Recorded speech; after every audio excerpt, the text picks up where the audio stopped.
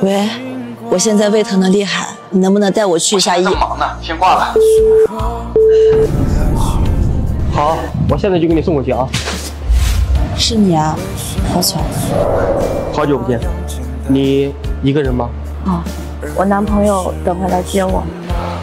你以前从来都不吃零食的，这是买给谁的？给我女朋友买的。那个，她还在那边等着，先走了。拜拜。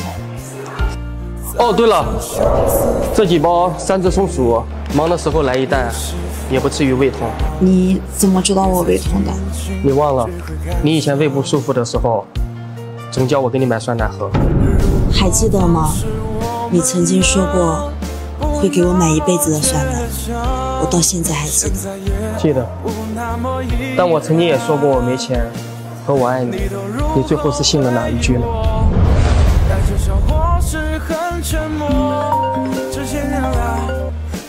哥，你给我买的零食怎么还没送到啊？哥，现在就回去。后来，我总算学会了如何去爱，可是你。